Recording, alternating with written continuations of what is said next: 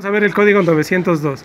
El código 902 en, esta, en este for que tiene el sistema PowerShip, el código se refiere al servomotor que está en la parte inferior.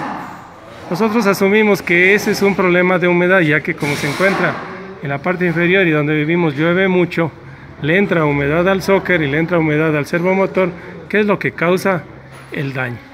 En la parte de acá atrás tenemos el TCM, que es el Traction Control Módulo, que es el sistema que sirve para controlar los servomotores que hace funcionar la caja de cambios. Tengo dos servomotores que hacen funcionar el doble embrague. El servomotor 2 y en la parte de arriba tengo el servomotor 1.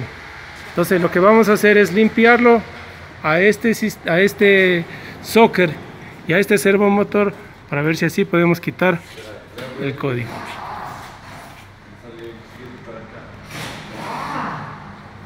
Entonces, esto es lo, lo referente al código P0902.